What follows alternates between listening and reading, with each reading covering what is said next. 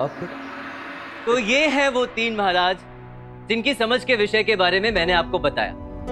बुद्धि सागर चतुरन्ना और ये बच्चा। ये तीनों निसंदेह उस कार्य की कसौटी पे खरे उतरते हैं, जो कार्य आपने मुझे सौंपा था। अब यहाँ उपस्थित बाकी बचे दो महानुभावों से भी आपका परिचय कराया जाए। इनसे मिलिए महाराज। ये है चरण रुकिए रुकिए रुकिए रुकिए। आपसे आठ मूर्ख ढूंढ कर लाने के लिए कहा गया था। ये तो पाँच हैं। बाकी के तीन कहाँ हैं?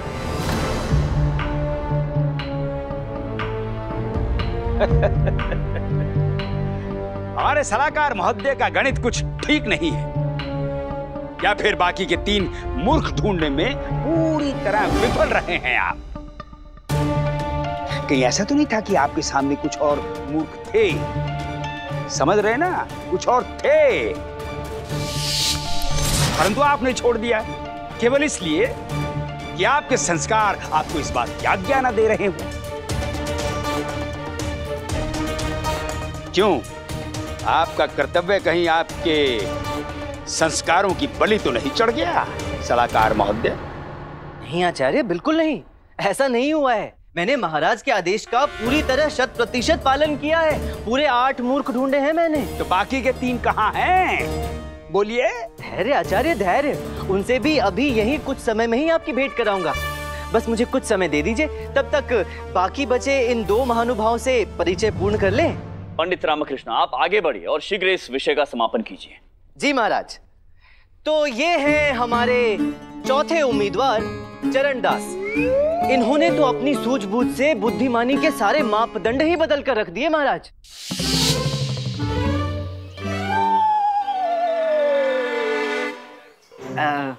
क्या हुआ भाई? ऐसे सिर के बल क्यों खड़े हो? आज प्रातःकाल सर में बहुत दर्द था। वैद्य जी के पास गया तो उन्होंने दर्द निवारण औषधि देते हुए कहा औषधि लेने के पश्चात औषधि असर करने में थोड़ा समय लेगी। फिर क्या था? मैंने भी अपनी बुद्धि लगाई और यहाँ आकर शीर्षासन कर लिया ताकि दवाई शरीर में जाने के बजाय सीधे मेरे सिर में चली जाए और मेरा सिर दर्द शीघ्र ही ठीक हो जाए। किया ना बुद्धिमानी वाला काम। हाँ हाँ हाँ,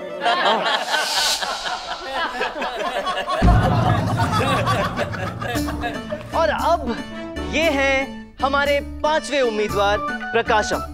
इन्होंने तो अपनी बुद्धि दृष्टिकोण से ईश्वर तक को ठग लिया, महाराज। उन्हें भी मूर्ख बना डाला। इनके बारे में मैं नहीं, ये स्वयं आपको बताएँगे। बताइए, प्रकाशम, बताइए किस तरह से आपने ईश्वर की आँखों में धूल झोंकी? बताइए।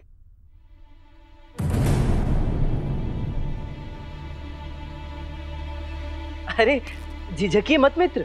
बताइए सबको अपने चातुर्य के बारे में। यहाँ भी तो सबको पता चलना चाहिए कि आपने ऐसा किया क्या? कि ईश्वर भी आपके झांसे में आ गया। बताइए बताइए प्रकाश। महाराज मेरा नाम प्रकाशम नहीं है। झूठ बोला था मैंने आपसे। हम जानते हैं नहीं महाराज। यह मैं राजपुरम की गोष्ठी में मिला था। और इसने अपना नाम अट्टाचार्य बताया था। वो भी मैंने झूठ बोला था। आपको बहुत मानता हूँ। इसीलिए मैंने अपना नाम अट्टाचार्य बताया था।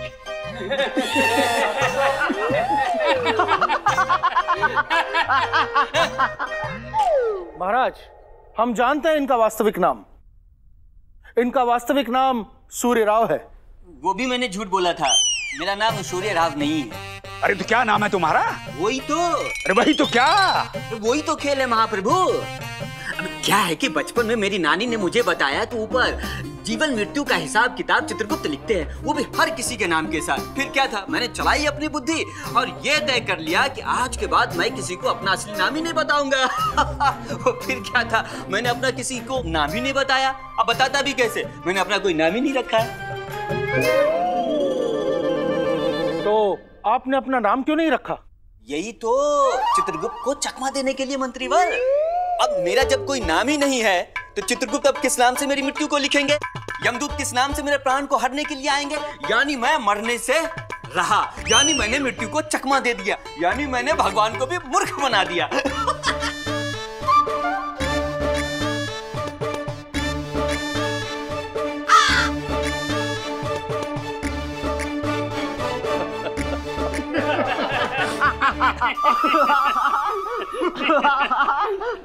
ये देखिए महाराज, ये है मूर्खता की पराकाष्ठा। यही है वो मूर्ख जीव, जिनके कारण हमारा विजयनगर मूर्खों का राज्य बनकर रह गया। और हम मूर्ख नगरी के राजगुरु। दंड दीजिए ने महाराज। लगाइए सौ कोड़े। और स्थापित कीजिए ऐसा ऐतिहासिक उदाहरण जिसके पश्चात हमारे राज्य में कोई भी मूर्खता का विचार करने से पहले सौ बार सोचे।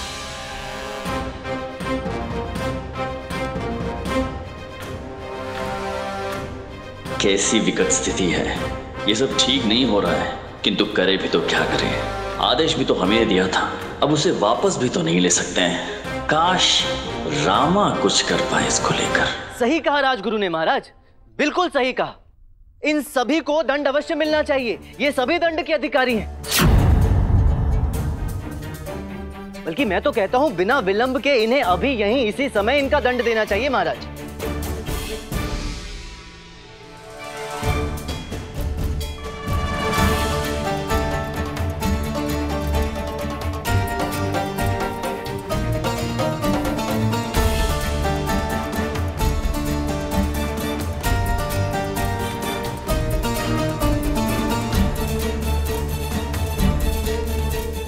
मंत्रीवर। महाराज। दंड की कार्रवाई आरंभ की जाए।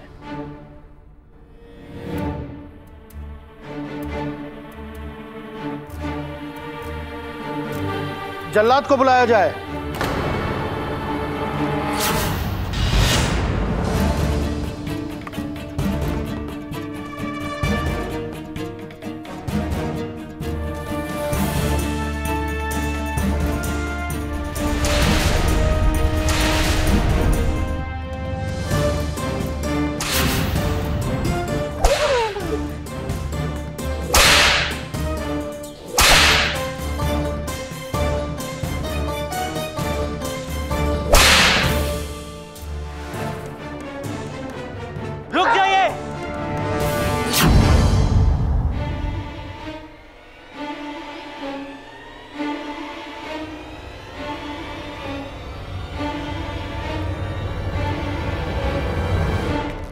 मेरे विचार से यह प्रक्रिया अधूरी रह जाएगी महाराज। यदि महाराज के तय आदेश के अनुसार यहाँ पूरे के पूरे आठों मूर्ख उपस्थित ना हो तो। केवल पाँच मूर्खों को ही यदि दंड मिला तो ये तो आपके आदेश की अवमानना होगी। दंड मिले तो पूरे आठों मूर्खों को मिले। अन्यथा इस दंड का क्या औचित्य महाराज? हाँ तो बताइए ना। बताइए कहाँ है शेष तीन मूर्ख? प्रस्तुत कीजिए उन्हें। कीजिए मूर्खों के बीच में खड़ा। बाकी के तीन मूर्ख भी यहीं इसी दरबार में उपस्थित हैं, महाराज। जिन्हें मैं एक एक करके आपके सामने प्रस्तुत करूँगा। शेष तीन मूर्खों में से एक मूर्ख। मैं स्वयं हूँ, महाराज।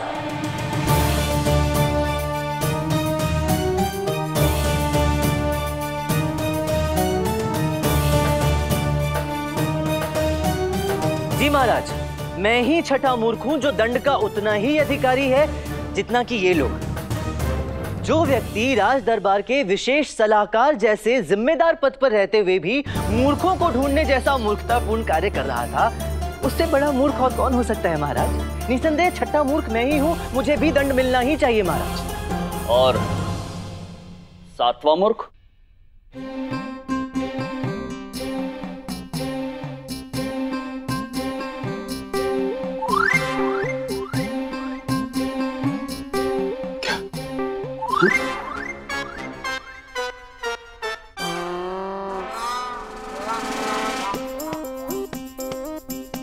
कौन? हमारे शिष्य धनी धनीमणि ये तुम्हें बाकी के मूर्ख लग रहे हैं? राजगुरु तथाचार्य के शिष्य तुम्हें मूर्ख लग रहे हैं? इसका अर्थ जानते हैं आप? इन्हें मूर्ख कहने का मतलब है हमें मूर्ख कहना। आप ही को कह रहा हूँ गुरुवर।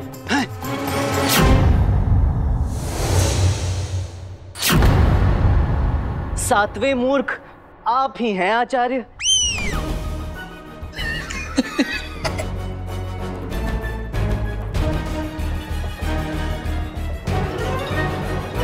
देखिए महाराज। ये हमें मूर्ख कह रहे हैं। हमें। प्रख्यात पंडित तथाचार्य को। राजगुरु, कुलगुरु। तथाचार्य को मूर्ख कह रहा है महाराज। समस्त शास्त्र, वेद, पुराण के कंठस्थ, विद्वान, महापंडित तथाचार्य को मूर्ख कह रहा है राजगुरु जैसे गरिमामयी और ऊँचे पद पर विराजमान होकर भी यदि आप ऐसे मूर्खतापूर्ण कार्य का समर्थन कर रहे हैं, इसे रोकने या सही मार्गदर्शन दिखाने के बजाय इसे बढ़ावा दे रहे हैं। सौ कोड़े लगाने जैसे गंभीर दंड का उपाय सुझा रहे हैं तो ये आपकी मूर्खता नहीं तो और क्या है, आचार्य?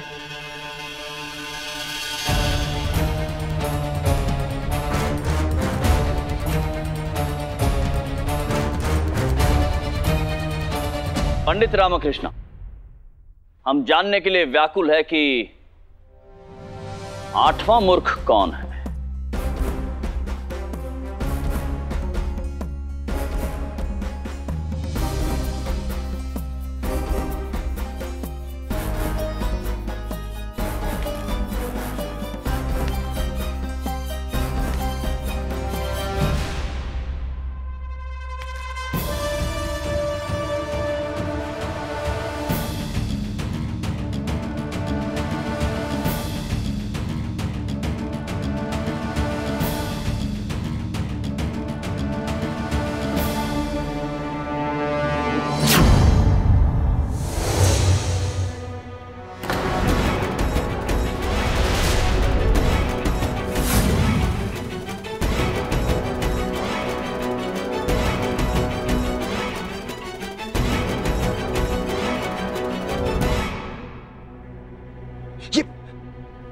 पंडित पागल हो गया महाराज।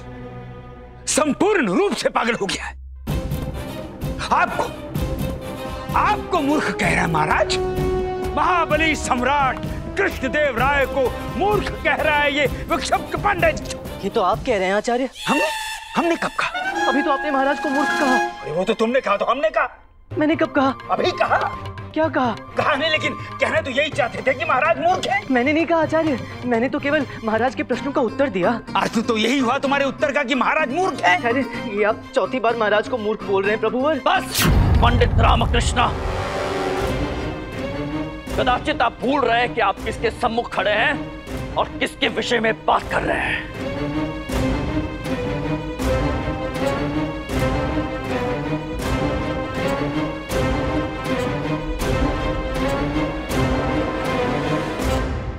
मैं जानता हूँ महाराज, कि मैं कहाँ खड़ा हूँ और किसके उन्मुख हूँ मैं अपने अन्नदाता, अपने महाबली सम्राट, महान शासक श्री कृष्ण देव राय के सम्मुख खड़ा। आपको भले ये मेरी उदंडता लगे, परंतु मुझे पूरा विश्वास है महाराज, कि महान बुद्धिजीवी शासक महाराज श्री कृष्ण देव राय उद्दंडता और सत्य का अंतर समझेंगे फिर भी यदि आप मुझे कोई दंड देना चाहते हो तो मुझे आपका दिया कोई भी दंड सहर्ष स्वीकार है, महाराज। बस केवल मुझे इतना बता दीजिए कि यदि किसी में बुद्धि क्षमता कम है तो इसमें उस बेचारे का क्या दोष, महाराज? ईश्वर ने तो उसे ऐसा ही बनाया है। ये केवल दंड के पात्र इसलिए हैं, क्योंकि इनके देखने और सोचने का दृष्टिकोण अलग है।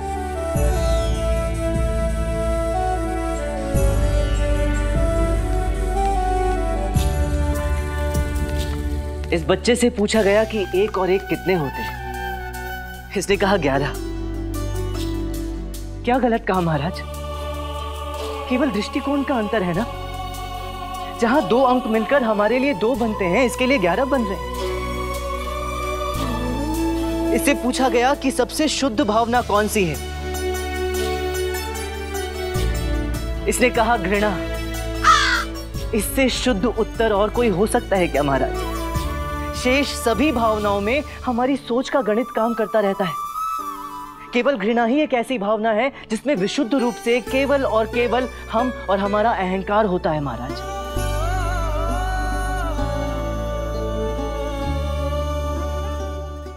फिर इससे पूछा गया कि हमारे राजा कौन है? इसने कहा, भगवान।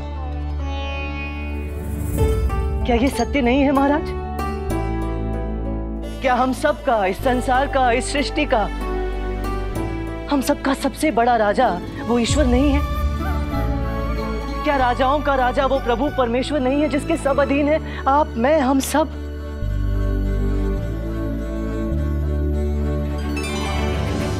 ये बच्चा पूरी रात पानी का बर्तन लिए अपनी माँ के सिरहाने खड़ा रहा। सबको इसमें इसकी मूर्खता दिखी, इसकी माँ को भी।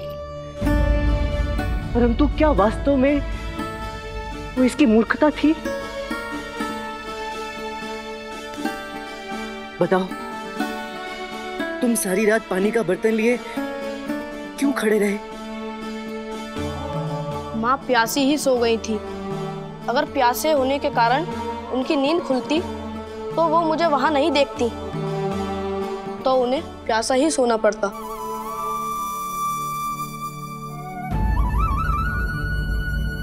एक संतान का अपनी माँ के प्रति इतना गहरा प्रेम। मूर्ख कौन है महाराज? ये बच्चा? या हम सब, जो इसे मूर्ख कह रहे हैं? ये तो ईश्वर का वो अबोध अंश है, महाराज, जिनके होने से उस परमपिता परमेश्वर के होने का आभास होता है।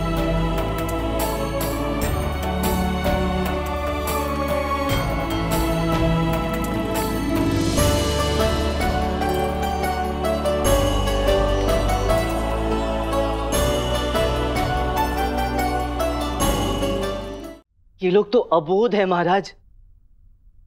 हम सबसे अधिक विश्वास और सम्मान के अधिकारी हैं, क्योंकि ये किसी के साथ छली नहीं कर सकते, किसी को कोई हानि नहीं पहुँचा सकते। इनमें इतनी बुद्धि ही नहीं है कि किसी को कोई भी क्षति पहुँचा सके। ये काम तो हम जैसे तथाकथित बुद्धिमानों का है, जो सोच समझकर छल कपट करते हैं, धोखा देते हैं, विश्वासघात करते हैं। इनका उपाय दंड नहीं, महाराज। शिक्षा है। मेरा आपसे नम्र अनुरोध है, महाराज, कि इन्हें दंड देने के बजाय इन्हें शिक्षित किया जाए।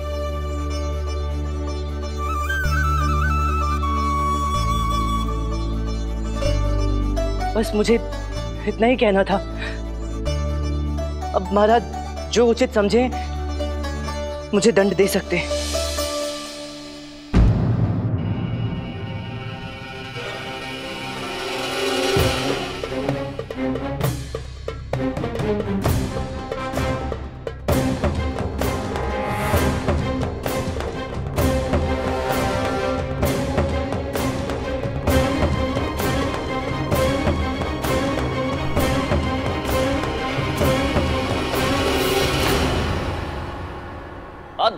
पंडित रामकृष्ण।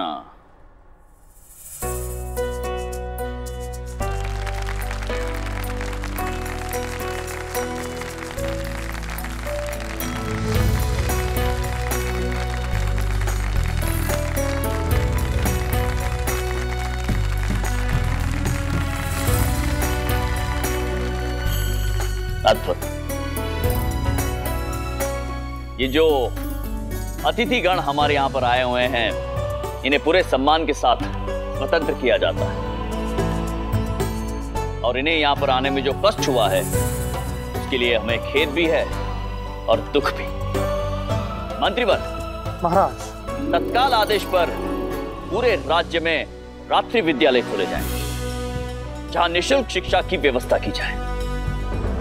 हम चाहते हैं कि हमारे पूरे राज्य में अधिक से अधिक लोग शिक्षित हों। प्रयत्न ये हो कि कोई कोई अशिक्षित न रह जाए। और हमारे जो ये अतिथि हैं उन्हें भेंट उपहार दिए जाए और ससम्मान इन्हें अपने गंतव्य तक पहुँचाया जाए। जी महाराज।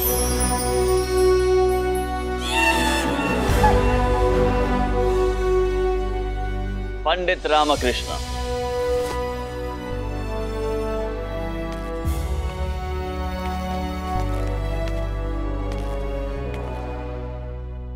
जिस राज्य के पास आप जैसा सुलझा हुआ विद्वान सलाहकार हो, वहाँ भला कोई मूर्खता कैसे कर सकता है? आपने आज हमें एक बहुत ही भारी मूर्खता करने से बचा लिया। और उसके लिए हम सदैव आपके आभारी रहेंगे। और हमें सदैव यह भी याद रहेगा कि कोई था जिसने विजयनगर सम्राट कृष्णदेव राय को ना कहकर भी मूर्ख कह दिया था।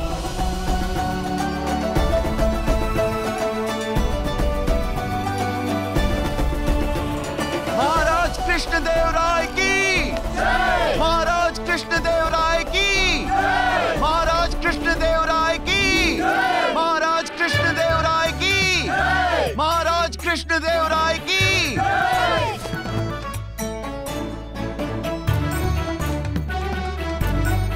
शशिवर्णं चतुर्भुजं विष्णुं शशिवर्णं चतुर्भुजं प्रसन्नवन्दनं ध्यायेत् सर्वविघ्नोपशान्तये।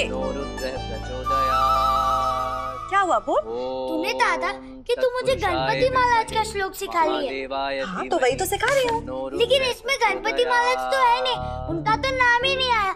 ये तो विष्णु भगवान का श्लोक है। विष्णु शब्द है पर सूत्र गणपति महाराज का ही है। ऐसा होता है था ये तो वही बात हुई। गल्लामा का और लय कोई और। तुझे खुद नहीं पता, शारदा। अरे, मेरे छोटे से महापंडित, यदि प्रश्न किया है तो उत्तर सुनने और समझने का धैर्य भी तो होना चाहिए कि नहीं? मैं तुझे बताता हूँ इस सूत्र का अर्थ। यहाँ। हम्म बैठ। शुक्लांबर धर्म, अर्थात वो जो श्वेत वस्त्र धारण करता है, विष्णु, जो हर जगह व्याप्त है, जो सर्वव्यापी शशि वर्णम वो जिसकी उपस्थिति चंद्रमा के प्रकाश से भी उजली और चमकदार है। चतुर्भुजम, जिसकी चार भुजाएँ हैं। प्रसन्न वंदनम जिसके मुख पर दया और करुणा विराजमान है। ध्यायेत कि चलो, उस पर अपना ध्यान केंद्रित करते हैं। सर्व विघ्नोप शांत ये अर्थात वो जो समस्त दुख, दर्द और विघ्न का निवारण करने वाले हैं। तो यहाँ विष्णु का अर्थ है, जो हर जगह पर है हर स्थान में है, जो भगवान विष्णु के लिए भी कहा गया है और गणपति महाराज के लिए भी। परंतु ध्यायेत सर्व विघ्नोप शांतये इसका अर्थ है कि उसकी आराधना करें, जो समस्त दुख, दर्द, विपत्ति, विपदा, बाधा, रुकावट के विघ्न हरता है, जो कि गणपति महाराज के लिए कहा गया है। इसलिए ये श्लोक गणपति महाराज का ही है, गुंडप्पे। उन्हीं का सूत्र है ये। अब समझा?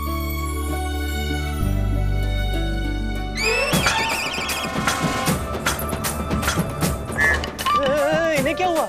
शुभ समाचार मांग रहे हैं। किससे? गणपति जी से। ऐसे कोई शुभ समाचार माँगता है क्या? कह रही है कि इस गणेश चतुर्थी पर हम सब गणपति जी की पूजा करेंगे। और ये गणपति जी से कुछ मांगेंगी। क्या मांगेगी? ओह लजाती हुई महोदया आगे भी कुछ बोलोगी? कह रही है गणपति जी से मांगेंगी इनकी गोद में इनकी गोद में क्या? इनकी गोद में पोता पोती खेले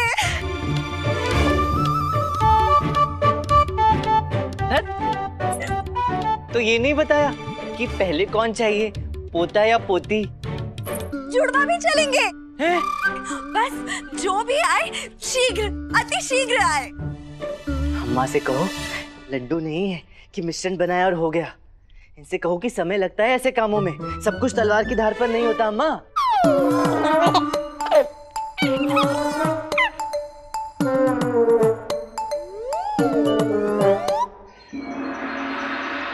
दरबार की कार्रवाई आरंभ की जाए। महाराज की सेना के उप सेनापति युद्ध से लौट आए हैं महाराज।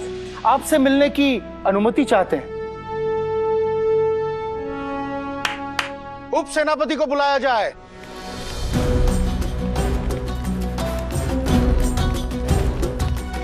महाबली सम्राट की जय हो। महाराज के चरणों में उप सेनापति देवेंद्र राव का शत शत नमन। उप सेनापति जी विजय की खूब खूब बधाई हो आपको। इस बार आप युद्ध जीत कर आए हैं। आपको पहले से पता था महाबली कि हम आपके पास युद्ध जीत लेने का समाचार देने आए हैं? विश्वास था हमें अब जब आप हमारे समक्ष आएँगे तो युद्ध के समाचार लेकर आएँगे। क्योंकि इस बार जीतने के अतिरिक्त आपके पास कोई विकल्प भी तो नहीं था। एक बार फिर से आक्रमण की तैयारियाँ कीजिए। और इस बार हमारी सेना दूसरे तट पर पहुँच जाए तो वो सारे नाव सारे तख्ते सारे जहाज़ वहीं जला दिए जाएँ। इस जीत का सारा श्रेय महाबली को जाता है महाराज। नहीं उपसेनापति। जी इस जीत का पूरा श्रेय हमें नहीं। इस जीत का पूरा श्रेय जाता है भगवान श्री गणपति महाराज को। गणपति महाराज। जो भले लोगों के लिए विघ्नहर्ता माने जाते हैं, वहीं वो दुष्टों के लिए विघ्नकर्ता भी माने जाते हैं। वही श्री गणेश जी, जिनसे हमें सदैव जीत की प्रेरणा मिलती आई है, जिनके आशीर्वाद और मार्गदर्शन से हमने सदैव अपनी प्रजा और अपने राज्य की रक्षा की है। सेना के युद्ध पर कूच कर जाने के पश्चात हमने प्रभु श्री गणेश से हमारे प्रत्येक सिपाही के प्राणों की रक्षा की प्रार्थना की थी। उनके जीत की कामना की थी और एक संकल्प किया था कि इस युद्ध के पश्चात आने वाली गणेश चतुर्थी पर हम प्रभु श्री गणेश के इस उत्सव का बड़ी धूमधाम से आयोजन करेंगे। तो आपको इस जीत पर ढेर सारी शुभकामनाएँ और हमारे सभी सैनिकों के लिए हमारी ओर से भेंट और उपहार का प्रबंध किया जाए महामंत्री जी। जी महाराज।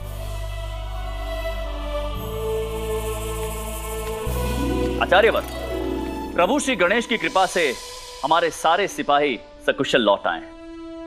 तो अब समय हो गया है हमारे उस संकल्प को पूरा करने का।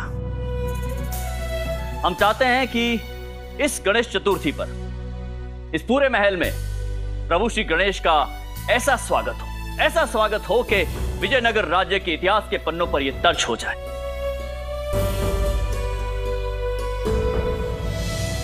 आचार्यवर आपका क्या विचार है इस विषय में? यही? बिल्कुल यही कहने वाले थे महाराज। देखिए भगवान श्री गणेश जी महाराज की लीला। कैसे प्रभु के दोनों भक्त एक जैसा ही सोच रहे अभी यही विचार हमारे मस्तिष्क में चल रहा था और ठीक वैसा ही महाराज भी सोच रहे अत्यंत प्रसन्नता हुई आचार्यवर ये जानकर कि आप भी वैसा ही सोच रहे हैं। तो ये तय रहा आज से दस दिनों तक, जब तक भगवान श्री गणेश की स्थापना के दिन रहेंगे, इस महल में एक भव्य समारोह का आयोजन होगा, एक महापूजा होगी। ऐसा ही होगा महाराज। बिल्कुल ऐसा ही होगा। इस गणेश चतुर्थी पर भगवान श्री गणेश का इस महल में ऐसा भव्य स्वागत किया जाएगा। ऐसा भव्य स्वागत किया जाएगा कि पूरी दुनिया देखती रह जाएगी। बस, आप सब हम पर छोड़ दीजिए महाराज। सारा प्रबंध हम स्वयं अपनी देख रेख में करवाएँगे। हाँ बल्कि हम तो ये कह रहे हैं कि प्रतिदिन राजनर्त की सौदामनी का भक्तिपूर्ण नृत्य कार्यक्रम रखा जाना चाहिए, ताकि महल का कोना कोना इन दस दिनों तक श्री गणेश की स्तुति के संगीत से सराबोर हो जाए। क्षमा महाराज, क्या मैं हाँ पंडित रामकृष्ण कहिए। क्या कहना चाहते हैं आप? महाराज दस दिनों तक केवल सौदामिनी देवी का नृत्य कहीं इस महोत्सव की भव्यता को बोझिल और नीरस ना कर दे। उनका नृत्य प्रदर्शन तो होता ही रहता है। उसमें नया क्या है? अरे तो फिर क्या करें नवीनता के लिए? है? हम स्वयं ढोलक और मजीरा लेकर बजाने लग जाएँ। कैसा लगेगा ये बुड्ढा? ढोल मंजीरा बजाते बजाते। मंजीरा बजाने तक तो फिर भी ठीक है। यदि इस बुढ़ो ने गलती से भी गाने का प्रयास किया ना कोई ना कोई इसके गले में भाला अवश्य मार देगा। महाराज हम पंडित रामकृष्ण से सौ प्रतिशत सहमत हैं। हमारे पास एक सुझाव है। यदि महाराज सुनना चाहे तो। अनुमति है? महाराज भगवान गणेश जी के भक्तगण अच्छी तरह से जानते हैं। कि भगवान गणेश स्वयं चौसठ कलाओं के कारक हैं। हर कला में निपुण तो भला उनसे बड़ा कलाकार और कौन हो सकता है महाराज? तो क्यों ना उनके कला प्रेम के सम्मान में एक संगीत का भव्य आयोजन किया जाए, जहाँ पर इस देश के ही नहीं, बल्कि इस दुनिया के बड़े और उच्च कोटि कलाकारों को आमंत्रित किया जाए। संगीत प्रतियोगिता के नाम पर संगीत का उत्सव मनाया जाए और जीतने वाले को राजसी भेंट उपहार से सम्मानित किया जाए। अद्भुत सुझाव है मंत्रीवर और आपके इस सुझाव से हमें भी एक बात सूझी है। क्यों ना हम भगवान श्री गणेश को धन्यवाद स्वरूप, चंद्रमणि हीरा भेंट करें।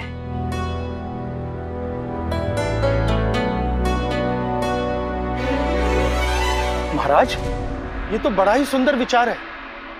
परंतु वो हीरा तो ब्रह्म कमल पुष्प में रखा है। हम भी यही सोच रहे थे, महामंत्री जी।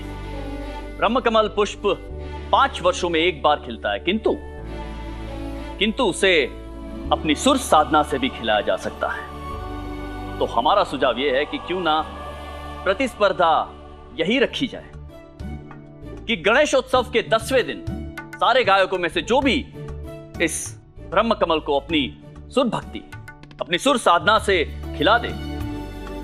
वही इस प्रतिस्पर्धा का विजयी गायक माना जाएगा। उसके पश्चात उस गायक को उचित राजकीय सम्मान से अलंकृत किया जाएगा और वो चंद्रमणि हीरा प्रभु श्री गणेश के चरणों में समर्पित किया जाए। और इसी बहाने आयोजन में उपस्थित अतिथि गणों को चंद्रमणि के अलौकिक सौंदर्य के दर्शन का लाभ भी मिल जाएगा। आचार्यवर आपका इस विषय में क्या कहना है? बस हो गया महाराज, बिल्कुल हो गया। इससे बढ़िया कोई आयोजन तो हो ही नहीं सकता है। हम आज से ही आयोजन के प्रबंध में लग जाते महाराज, ये गणेश चतुर्थी विजयनगर के लिए एक ऐतिहासिक आयोजन होगा। और हम राजगुरु तथाचार्य आपको वचन देते हैं महाराज। अद्भुत। आयोजन की तैयारियाँ आरंभ की जाए। अरे रामा ये चंद्रमणि हीरा क्या है? पता नहीं बंधु मैंने भी चंद्रमणि हीरा के बारे में केवल सुना है। अच्छी तरह से नहीं जानता कि ये क्या है। पता करना होगा। हमारे हिसाब से आप लोगों ने बिल्कुल सही किया। महामंत्री जी। महामंत्री जी ये चंद्रमणि क्या है? हीरा है। क्या मंत्रीवर? ये तो मैं भी जानता हूँ कि हीरा है। परंतु ऐसी क्या विशेष बात है इस चंद्रमणि हीरे में कि जिसका नाम सुनकर पूरा दरबार हिल गया? दरबार में जितने भी लोग थे सबके चेहरे ऐसे चमक उठे जैसे सूर्य की किरण ताल पर नाचती तालाब की चमचमाती बूंदे जगमग जगमग कर रहे थे सबके चेहरे। ऐसा क्या विशेष है उस चंद्रमणि हीरे में मंत्रीवर? उस हीरे की जितनी बात की जाए उतनी कम है पंडित रामकृष्ण हाँ? इस संसार की किसी भी भाषा में अगर इस हीरे की प्रशंसा शब्दों में की जाए तो वो संभव नहीं। ऐसी चमक ऐसी सुंदर नकाशी ऐसा चुंबकीय आकर्षण ऐसा सम्मोहन जो आज तक कभी किसी ने नहीं देखा और ना ही किसी ने अनुभव किया। बात है मंत्रीवर। आप तो कवि निकले। किसी साधारण से हीरे की ऐसी अद्भुत प्रशंसा तो कोई कवि ही कर सकता है। साधारण हीरा? ठीक है पंडित रामकृष्ण। आज रात्रि प्रथम पहर में आप महल में आइए। और इस साधारण से हीरे के दर्शन का असाधारण अनुभव हम आपको दिखाते हैं। जी मंत्रीवर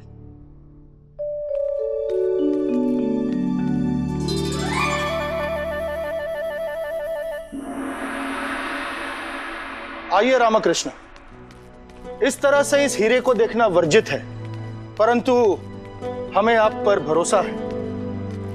अंदर की सारी रोशनियाँ बुझा दो।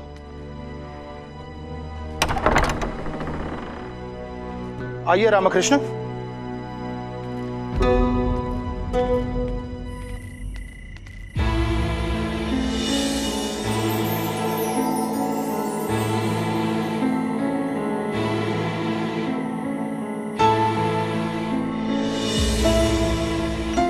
पंडित रामकृष्ण। इस फूल को ब्रह्म कमल कहते हैं। ये अपने आप ही खिलता है और अपने आप बंद हो जाता है। अब ये वापस कब खिलेगा और अपनी पंखुड़ियों के साथ बंद होगा ये कोई नहीं बता सकता।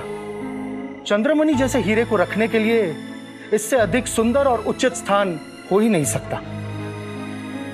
पर इसका वास्तविक स्थान भगवान गणेश जी के चरणों में ही है। बहुत मूल्यवान होगा ना ये चंद्रमणि मंत्रीवर किसी की भी कल्पना से और अधिक पंडित जी इस हीरे के मूल्य के बराबर तो दो चार राज्य बेचे और खरीदे जा सकते हैं। हाँ? हम्म। यदि यह हीरा किसी के पास हो तो उसकी पुश्तों की पुश्ते भी यदि दोनों हाथों से धन लुटाएँ तब भी इसका एक अंश समाप्त नहीं होगा। वो व्यक्ति संसार का सबसे बड़ा धन कुबेर है जिसके पास यह हीरा है। और यह हमारे राज्य विजयनगर के लिए सौभाग्य की बात है कि इतना अद्भुत और अमूल्य हीरा हमारे राज्य की संपत्ति है।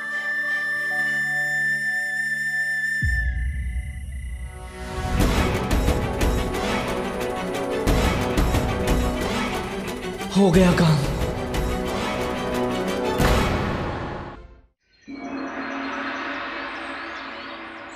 रामा रामा रामा रामा! नाक में दम कर रखा है इस दुष्ट पंडित। कुंडली मारकर बैठ गया है ये दुष्ट ग्रह हमारे नक्षत्रों में। हर बात में घुसना, हर बात में टांग अड़ाना, स्वभाव बन गया कपटी पंडित का। हमारा मुख कुछ कहने के लिए बाद में खुलता है, इसका हस्तक्षेप पहले शुरू हो जाता एक अवसर एक अवसर मिल जाए। रौंद कर रख देगा ये तथाचार्य इस रामा का अस्तित्व। बताओ, हैं? कितने मनोयोग के साथ हम रखवाना चाह रहे थे अपनी प्रिय राजनर्त की सौदामनी का नृत्य? वहाँ भी घुसकर सब मनिया मेट कर दिया इस दुष्ट ने। वो तो अच्छा हुआ कि सौदामिनी को पता नहीं चला कि महाराज ने उनका नृत्य कार्यक्रम रद्द कर दिया है। अन्यथा अन्यथा हम तो कहीं क्यों नहीं रह जाते? सुनो यदि सौदामिनी कहीं मिले तो उन्हें आप मिली थी प्रभु। कौन? आपकी प्यारी सुदामनी देवी। कब? अभी थोड़ी देर पहले कहा? महल से बाहर निकलते हुए गुरुजी। तो? बता दिया। क्या बता दिया? यही कि समारोह में से उनका पत्ता कट गया है। किसने बताया? हमने। क्यों? उन्होंने पूछा तो हमने बता दिया। सत्यानाश। सच क्यों बोल दिया? जीवन में पहली बार मुख से सत्य निकल गया प्रभु। वरना जब से आपकी शरण में आए हैं हमारा और सत्य का भला क्या संबंध? फिर? फिर क्या गुरुजी? तो फिर क्या प्रतिक्रिया रही? उनकी क्या बोली? बोली की क्या? पत्ता कट। हाँ तो बता दिया ना कि समारोह से उनका पत्ता कट हो गया है। आपका प्रभु। है? आपका पत्ता कट गया है। सुदामनी ऐसा बोली कि वो आपका मनु चेहरा भी नहीं देखेगी अब। क्यों? हमने क्या किया कह रही थी कि आखिर क्या आवश्यकता थी गलत समय पर उसका नाम रखने की। सत्यानाश। हाँ ये भी कह रही थी। ये भी कहा? ये भी कह रही थी कि सत्यानाश हो तुम्हारे गुरु का सारा गुण गोबर करके रख दिया। गुरु जी आज की बात आपके लिए सुदामनी जी के घर के द्वार हमेशा के लिए बंद।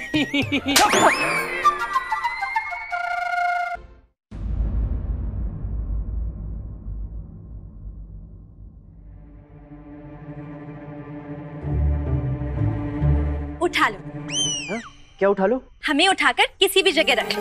हम इतने ही सुंदर लगेंगे। अब हम हर कोण से इतने ही सुंदर दिखते हैं। हमें देखने के लिए हर कोण में घूमने की आवश्यकता नहीं है। कुछ करना होगा शारदा कुछ करना होगा। यहाँ घूमने से कैसे कुछ होगा? यहाँ हमारे पास आके बैठे। तभी तो कुछ होगा। और कुछ होगा तभी तो अम्मा की इच्छा पूरी होगी।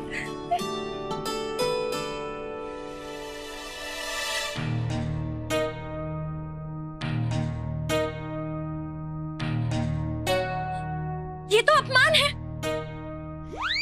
किसका?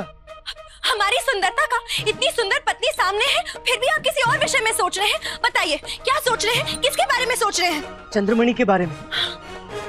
चंद्रमणि? हाँ शारदा। बहुत सुंदर है चंद्रमणि। बहुत ही आकर्षक है। अपने रूप से किसी को भी सम्मोहित कर दे।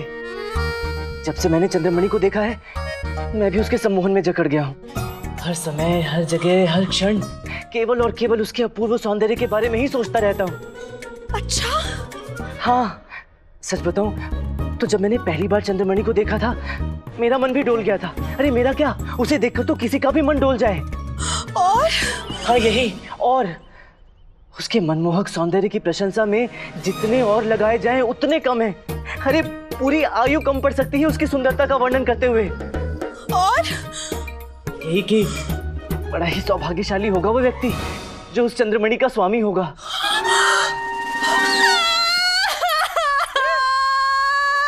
ए, क्या हुआ तुम्हें? अरे क्या हुआ?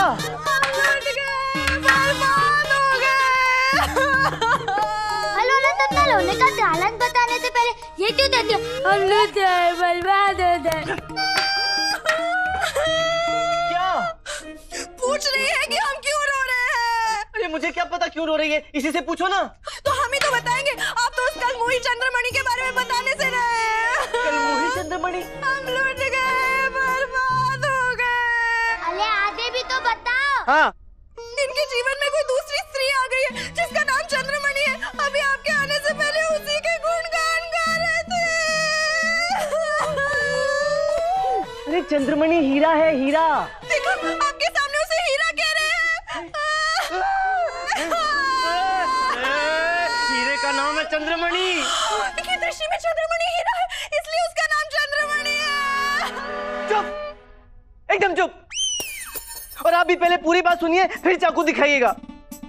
एक बहुत ही बहुमूल्य हीरे का नाम है चंद्रमणि। और आज राज दरबार में जब तक भगवान श्री गणेश के स्थापना के दिन रहेंगे इस महल में एक भव्य समारोह का आयोजन होगा और वो चंद्रमणि हीरा प्रभु श्री गणेश के चरणों में समर्पित किया जाए। अब मेरी शंका ये है, शंका क्या? पूरा विश्वास है कि इतना अद्भुत और बहुमूल्य हीरा यूँ सार्वजनिक हुआ तो संसार भर के चोर लुटेरों को खुला निमंत्रण होगा उसे चोरी करने का। बस इसी विषय में चिंतित था। पर पता नहीं, इस इस शारदा ने क्या अनाप शनाप और मनगढ़ंत अर्थ निकाल लिया मेरी बातों का। बताना चाहिए था ना? तो पहले बताना चाहिए था ना? बड़ा अवसर दिया मुझे बताने का। मैं ही सुस्त था तुम्हें बताने में। क्या? कह रही है कि तुम्हें चिंता करने की कोई ज़रूरत नहीं है। तुम जब भी जिस विषय में चिंता करते हो वो सच हो जाता है। कोई ज़रूरत नहीं है किसी और के फटे में टांग अड़ाने की। उस हीरे की सुरक्षा का दायित्व दरबार के सुरक्षा कर्मियों का है। तुम्हारा नहीं कोई ज़रूरत नहीं है दरबार में जाकर उस हीरे के विषय में किसी से भी बात करने की चुप रहोगे क्यों ठीक है